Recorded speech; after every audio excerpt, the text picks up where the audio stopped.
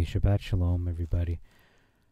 Uh, so, this is going to be a tricky video because I had a whole script ready, ready to go.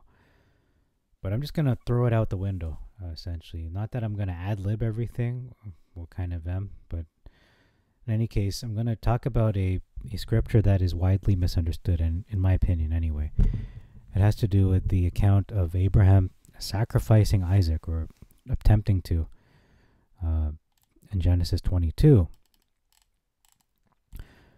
Uh, and in that account, Abraham believed in his heart, truly believed that God is the only one who could not just destroy body and spirit, but could also resurrect body and spirit from the dead, obviously.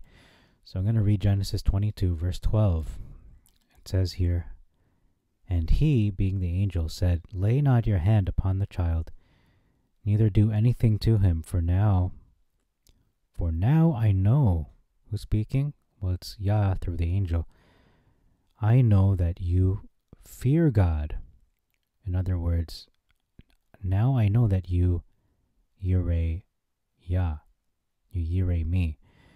For my sake, you have not spared your beloved son. Okay? So I'm going to kind of spoil what, what I've concluded here is that uh, a lot of people misunderstand this uh, yire uh, or Yah Yireh in this Genesis 22 to mean God is seen God has discovered, God will provide. So, did God provide that He knows that Abraham fears? No. We're trying to plug in all these different definitions, and that's what I'm doing right now, if you don't understand. So, the other definition is uncover or see. So, let's try see. Now I see that you fear God. That works. Now I've discovered that you fear God. That also works too. So, it says in verse 14 Abram called the name of that place Yah Yireh, which literally means the Lord fears. But if we switch those terms around, Yireh Yah means fear of the Lord. Not God has seen, as the popular belief is, popular consensus or perspective is that God has seen or God has provided or God has discovered. It's the fear of the Lord.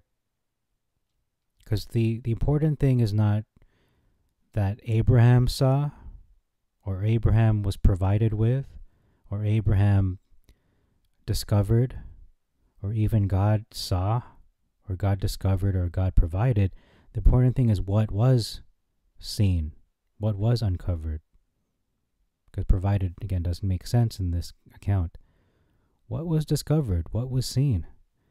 It was the fear of the Lord that Abraham had in his heart was manifested.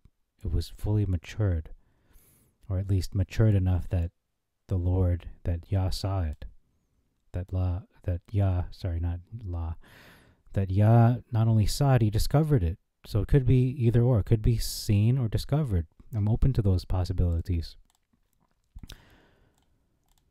So that's essentially what it is. Uh, so the the three possible definitions that people uh, use to explain Yireh, or to to define Yireh, because Yah means the Lord, or is the Lord in, in English anyway. That's the holy name, the tetragrammaton, the Yod He Vav He, Yod He Wow He, however you want to say it. But Yireh is mysterious because there are, again, it's multidimensional, multifaceted. But in this context of Genesis 22, in the account of Abraham sacrificing Isaac, it could mean three things as I went through. So the first one is the Lord will see, the Lord has seen, or the Lord sees uh, the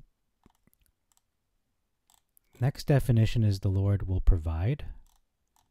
Actually, that's one of the more popular definitions is the Lord will provide, which again does not make sense in the context of this uh, account.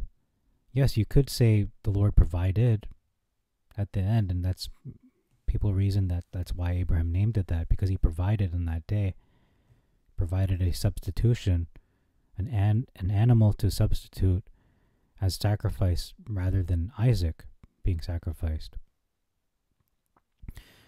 Yes, that makes sense in that from that perspective. However, I submit to you it's not Abraham's perspective that is the most important in this account. It's it's Adonai's. It's Yah's perspective. And the third definition that is mostly, uh, I should say, the third definition that is possible for this Yireh in this account anyway, is discover or to uncover, to reveal, or to be revealed, right? To be uncovered, to be discovered. So again, the first definition is potentially he has he uh, sorry he sees meaning God or whoever has seen sees or was seen. Um, does it make sense? Does it make sense? This definition, it, it does make sense. What about provide? Does that make sense? No, it only makes sense after the fact when you look at the account and say, okay, God provided. But why would it be important from God's perspective? Is it simply a memorial that, you know, this is a testimony God provides? No, I think it's greater than that. Uh, but when we look at the other definition of discover, that seems to be the most uh, full definition. Because it isn't good enough that it's not sufficient that that uh, Abraham just saw that God provided, and it's not sufficient either that God only saw uh, what was physically seen. God sees everything. It's more important as to what was uncovered that day, what was discovered that day, because life is a lot like not just seeing, not just living through life on the daily and being provided for. Life is more of a discovery, you know. In, in the province of Ontario, for example, the license plate says uh, "yours to discover." And like any good book, the the further you get into a book, the more you discover and uncover, and the more the book makes sense. Okay, that's a famous saying got that from a yearbook quote. But anyway, um, yeah, so that that is more relevant to the account, not merely seeing. Providing again makes no sense, but uncovering or revealing makes the most sense. So again, I'm just going to throw out my script in front of me and just conclude with this for the, the purpose of this video anyway. Just to clarify and clear out all the confusion about this Genesis 22 uh, passage, specifically the the Jehovah Jireh, as a lot of people pronounce, but it's actually not trying to get into an argument, but Yah Yireh. Yah Yireh is not God has provided. Doesn't matter not that it doesn't matter, but it's not as significant that Abraham was provided for. A, a ram was provided. It's not as significant that God is a provider. Yes, it's important, but that's not the focus of this account. The focus, rather, could be one of the two possibilities. It is either the fact that Abraham has seen that God can be trusted. He has seen uh, God is faithful. He has seen the, the provision.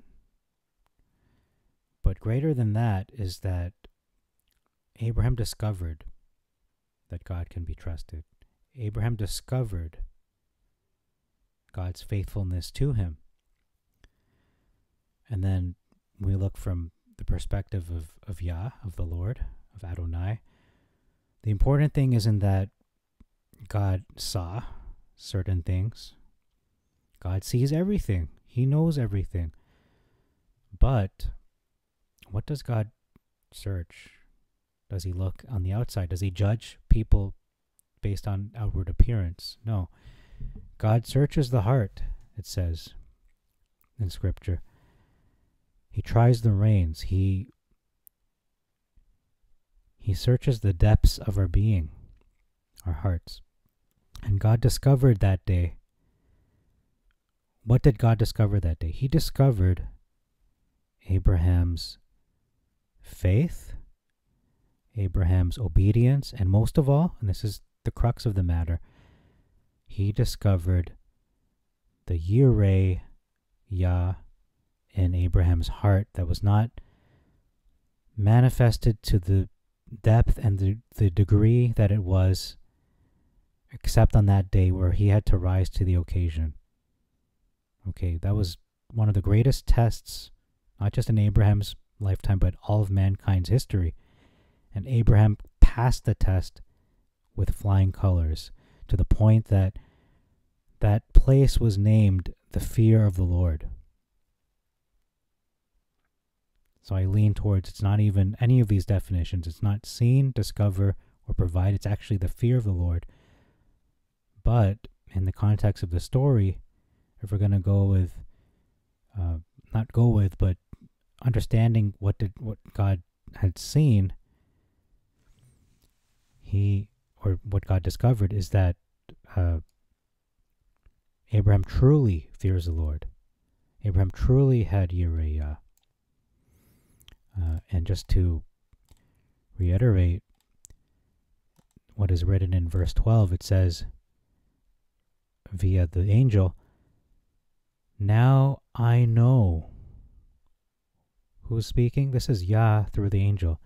Now I know that you, Yireh Yah, for my sake. Now I know.